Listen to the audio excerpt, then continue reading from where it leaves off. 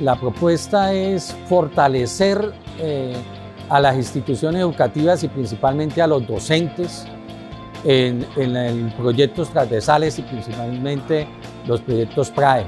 Incentivar de manera participativa a los estudiantes y a las instituciones de educación superior y que más que nosotros como instituciones de educación superior fortalecer las mesas transversales en esos temas.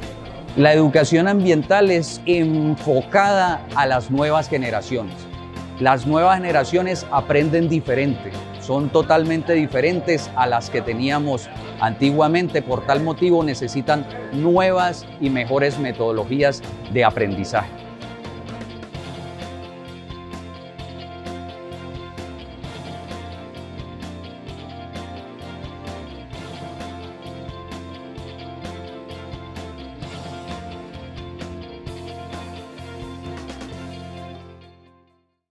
Colombia, potencia de la vida.